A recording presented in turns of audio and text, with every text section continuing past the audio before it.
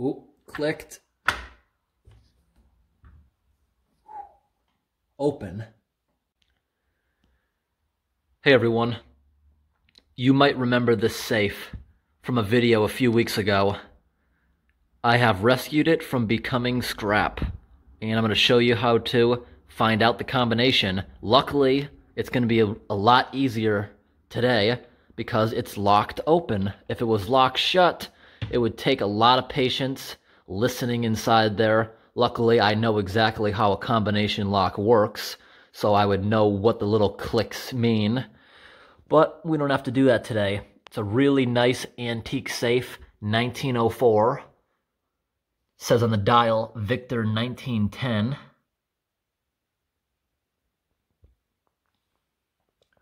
The paint is not bad for being this old. It weighs an absolute ton. Had to use a hand truck to get it into my vehicle to bring it home. And not much rust. Got a little bit of rust underneath it. And you can see there, that looks like it was always like that. It came out of the factory with that giant gap exposing the concrete between the inside and outside walls. Looks pretty nice. I'm going to keep it in my house as just like a decoration. It's so nice.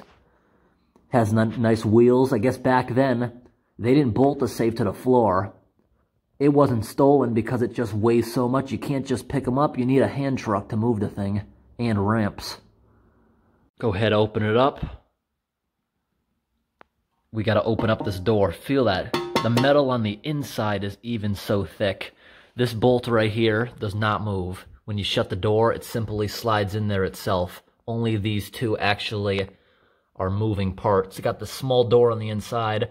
Someday maybe we could have that thing keyed, but see, it's obviously have to get some little screws and fix it into the shelves. See the nails you can see slipping right there. But I don't see really see the point of having a little door locking inside unless you were sharing it with somebody like somebody you trust has the combination to the outside and you just go to like your individual mailbox in there got a little bit of corrosion or nastiness on the inside. Clean that up nicely. Got some nice old carpet in there. I'm not going to replace that because that's like original. See, the inside's made out of wood. And you'll be able to see the nice high quality concrete when we open this thing up.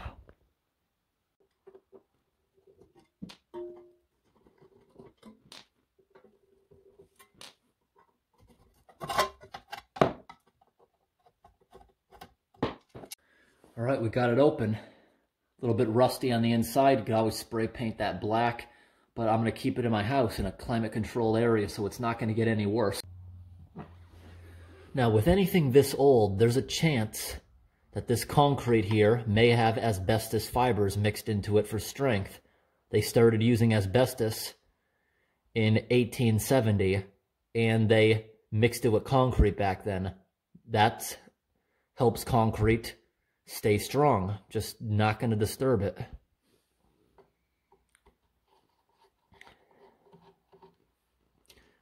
Could always spray that with some clear spray paint. That would seal it in place, but it's covered up with a door anyways. Just have to open this thing up to be able to figure out the code easily. Could also change the combination in here too with this see by the dial, see how it turns. You see how it picks everyone up?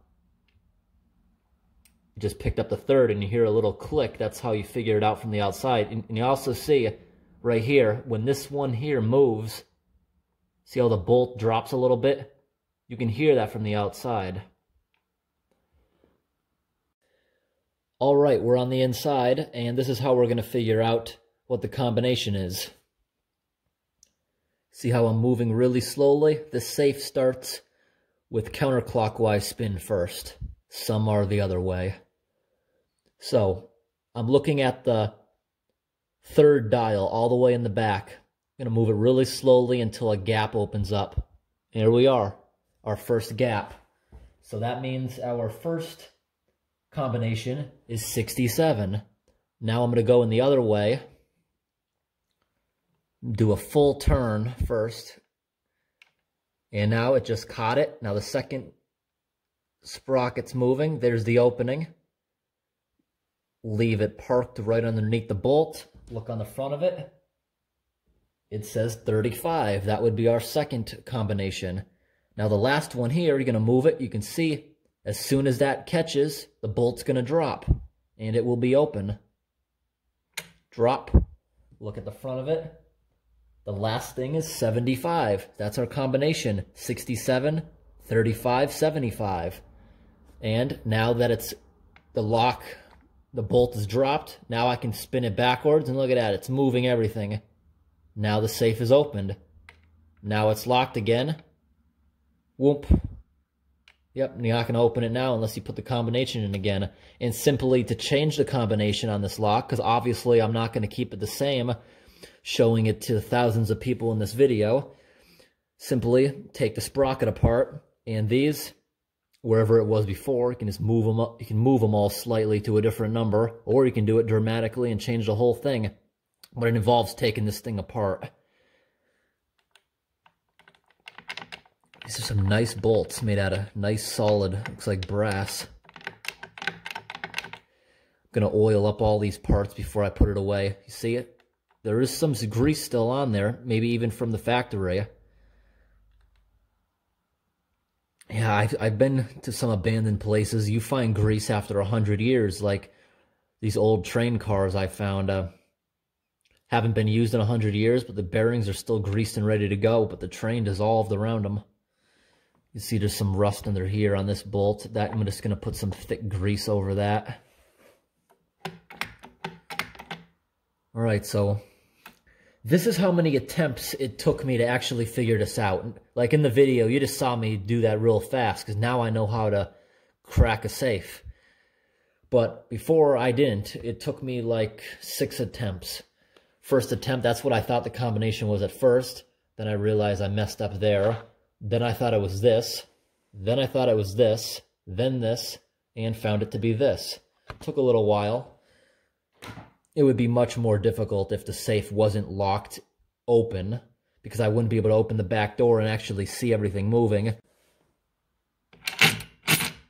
Hear that?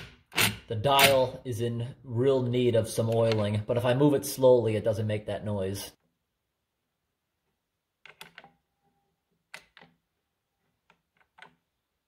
Oops.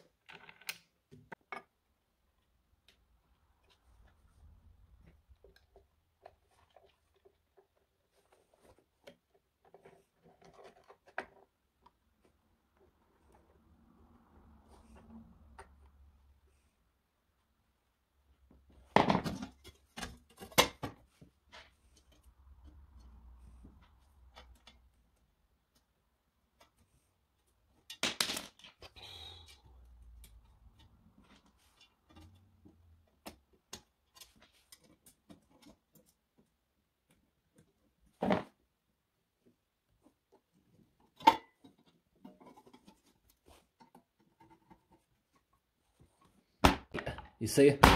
You actually have to pull it a little bit. Are the bolts not lining up?